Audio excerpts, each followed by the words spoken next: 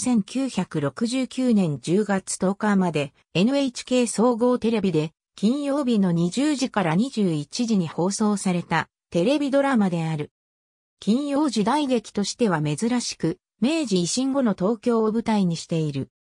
明治7から8年の文明会下記に、ちょんまげを切り落とし、残切り党となって、背広に身を包んだ元武士の新宮寺京介が、警視庁に報職、浅草伝法院屯所の探索法として、上司や仲間、町の人たちと共に、浅草を舞台に活躍する。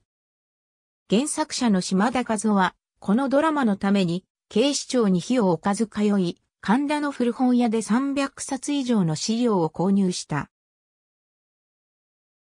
浅草にも十数回訪れている。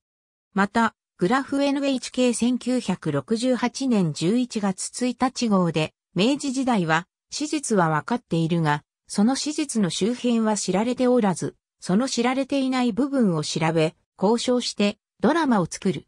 江戸時代が舞台の取物町には、この苦労はないと語り、その一方で、これは苦労であっても楽しい苦労であり、明治版の取物町ではない、探偵帳を書き続けるとも話している。新宮寺京介園、尾形県探索方に東順さ、深川の浪人の子で長屋育ち、事件解決には証拠を何よりも重んじる。藤井弥太郎園、川崎慶三探索方に東順さ、京介の同僚。元南町奉行同心で探索法となってからも、同心時代の着流し姿で捜査に取り組む。一見気取り屋だが本当は優しい。大木一郎太園、小山田宗則浅草屯所長の大警部。元薩摩藩士で会話も薩摩弁で行う。部下を気遣う上司で、京介が尊敬する人物である。文字勝之助園、豪栄地探索方に等巡査。京介の同様で、六尺棒の使い手である。京介同様に様相で捜査に携わる。庄司孫右衛門園、岩尾金四郎探索法頭の小警部、元会津藩士。屯所の最年長者で温厚な人物。南畑丸、園、木下秀夫探索法三等巡査、屯所の書き役。生真面目で仕事熱心だが、小藩の出のため出世が遅れがちである。駒形の朝吉園、花柳義明探索法の手先。元南町奉行所の目明かしで、維新後も親分と呼ばれている。浅草一帯の土地勘がある。お、源の縁、滝名安代屯所の雑益府、屯所の探索法に噂話などの情報を持ち込む。自分が頼りにされるのを喜ぶ。伊之助園、中原茂雄探索法がひいきにする、蕎麦屋、購買蕎麦の主人、元は、深川の板前。乙女園、小柳八坂伊之助の女房で、小梅の姉、元は、深川の羽織芸者。小梅園、加山よし子浅草芸者で、乙女の妹。蕎麦屋に同居している。八太郎の優しさを見抜きつつも、実は、京介ファン。長十郎園、内田浅尾京介が下宿している七や、鈴屋の主人、京介の捜査の手伝いもする。お、金園、相川泉長十郎の娘、京介に恋心を抱いている。一方で、京介に子供扱いされたり、ゆっくり話す時間がないことなどに不満を持っている。明治7年頃の浅草は、神社仏閣と繁華街とを抱えた町で人口が多く、事件もまた多かった。その浅草の浅草寺の本坊。屯所というのは、私服刑事の詰め所であり、30人ほどの巡査が交代で詰めていた。この伝法院の屯所がドラマの舞台である。当時の東京府下には捜査を担当する屯所が40あった。1871年、フランスの警察制度などを参考に編み出されたラ卒制度が採用され、1875年に東京警視庁が設立された。警視庁設立後は、ラ卒は巡査となった。巡査屯所は警察署の前身で、現場は屯所、そして事務は警視出張所が担当した。屯所にいつも詰めていたのは、巡査長、巡査部長、刑務員3名、初期30名の巡査だった。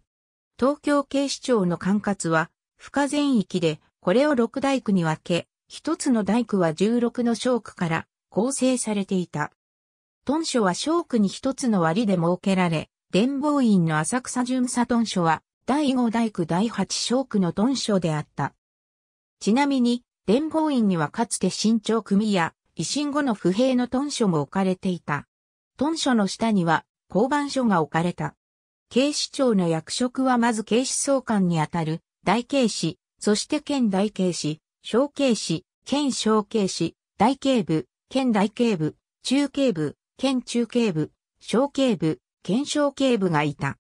彼らの下にいる巡査には1等から4等まであり、1等、巡査は他の巡査の指揮監督に当たった。また、制服は、当初は、羅卒とその下の番人のみに、紺の羅社製のものが与えられ、この制服に三尺棒で任務に就いた。それ以外の警察官が制服を着るようになったのは、1875年2月7日からで、これは、ルダンゴトブクと呼ばれた。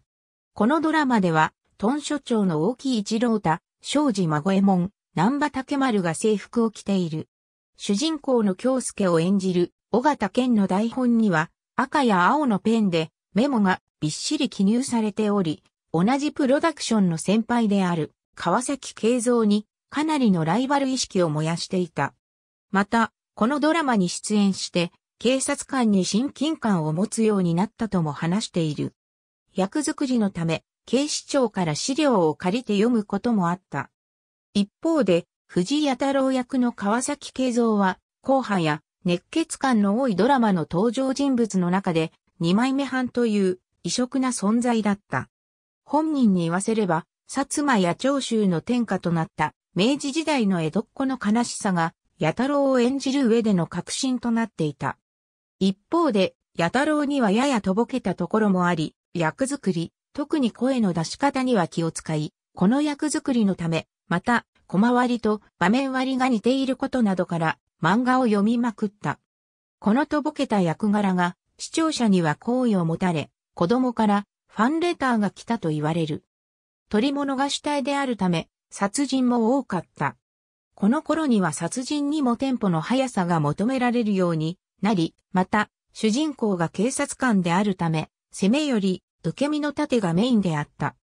セットが狭いため、出演者が怪我をしないように、立師の高瀬正俊は気を使った。殺人以外にも、ドラマの中で小武道の大会が登場したこともある。放送当時は、明治風のウエストを絞った4つボタンの背広やマントが流行っており、京介を演じる尾形健や勝之助を演じる郷栄地の服装は、そのまま外に出て行っても違和感がなかったのではないかと言われている。また、明治維新にふさわしく、証拠品の中に香水を染み込ませたハンカチなども登場する。もともとは、京介とお金が結ばれるはずだったが、急遽予定が変わって、お金は幼馴染と結婚することになり、脚本の書き換えが行われた。ありがとうございます。